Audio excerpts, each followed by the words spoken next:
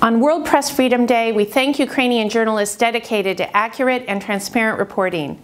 Even during times of crisis, they continue their critical work, keeping the public informed and empowered. The United States supports media freedom in Ukraine and around the world, and we recognize that journalists often put themselves at significant risk to provide the public with accurate information.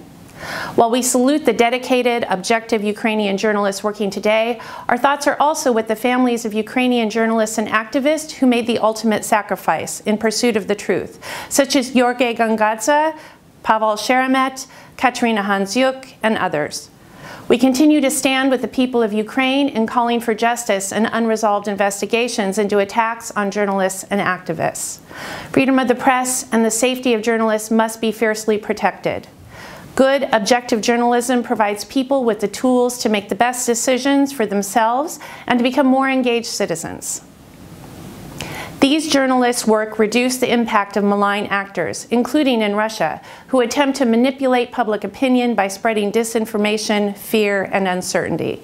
So again, I thank the journalists who are working on behalf of the people of Ukraine, on behalf of Ukraine's democracy, and on behalf of the truth.